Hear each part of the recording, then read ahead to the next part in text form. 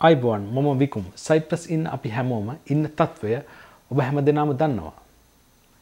ඒ නිසා කාලයක් පටන් අපි ඔබගේ දැනුවත් කිරීම සඳහා යාසුලංකා.කොම් වෙබ් අඩවිය හරහා ගොඩාක් දැනුවත්වීම් කරා.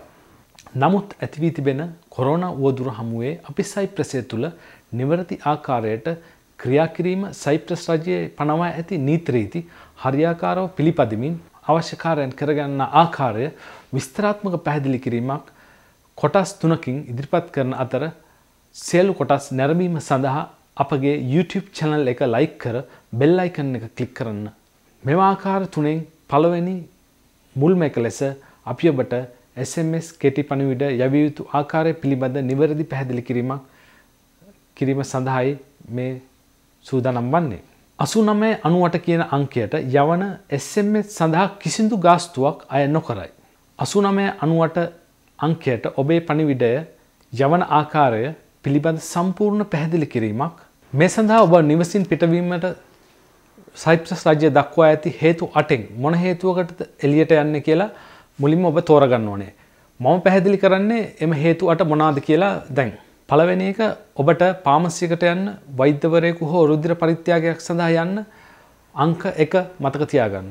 අංක දෙවනි අංකය අත්‍යවශ්‍ය බාණ්ඩ මිලදී ගැනීමට කඩයකට යාමට හෝ සේවා ලබා ගැනීම සඳහා අංක දෙක මතක තියාගන්න.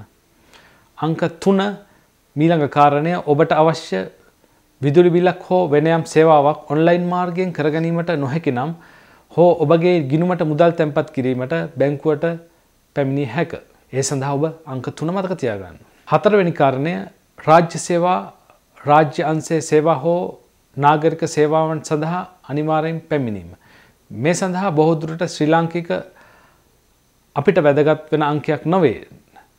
අංක පහ තමන්ට උදව් කිරීමට නොහැකි හෝ හුදකලා වී සිටින පුද්ගලයෙකු බැලීමට හෝ යාම මින් අදහස් කළ හැක්කේ. අංක හය ඩොක් වෝකින් හෝ ව්‍යයාම් කිරීම සඳහා පුද්ගලයන් දෙදෙනකුට නොවැඩි ඔබ නිවස ආසන්න ක්‍රියක් කිරීමට අංක හත දහ දෙනාට නොවැඩි අවමංගල්ල මංගල උත්සව හෝ බෞතිස්මමැනි උත්සව සහභාගිවීම මෙම පිරිස ඔබගේ ළඟම ඥාතින් පමණක් විය යුතුයි. අංක අට වෙනත් අත්‍යවශ්‍ය හේතුවක් මත පිටතර යෑම මේ සඳහා කාරණය තහවුරු කිරීමට අදාළ ලිපිලේඛන ඔබ සතු විය යුතුයි. දැන් අපි SMS මගින් ඔබගේ අවසරය ලබාගන්න හැටි බලමු. මුලින්ම SMS යවන දුරකථන අංකය අසු නමය අනුවට ලෙස සඳහන් කරන්න. ඊට පසු මම මුලින් සඳහන් කළ නිවසට නිවසෙන් පිටතර යාමට අදාළ හේතුව සඳහන් අංකය ඇතුළත් කරන්න. එකේ සිට අට දක්වා ඉලක්කම් වලින්. එකක්.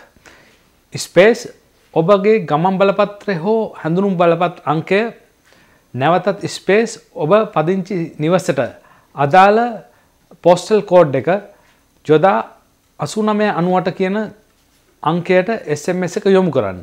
කෙටිපණවිඩ යැවීමෙන් පසු ඕකේ ලෙස පිළිතුරක් අවසරය කල්ලිකුත්වීමේ කාලය සමඟ ඔබට ලැබෙනු ඇත.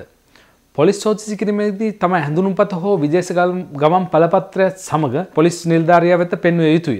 මීට අමතරව අපගේ YouTube චැනලය සබස්ක්‍රයිබ් කර බෙල් අයිකන්න එක ප්‍රෙස් කර අපගේ අලුත් වීඩියෝ එසනින් නැරමීම සඳහා ඔබට අවස්ථාව උදා වෙනවා. ස්තුතියි!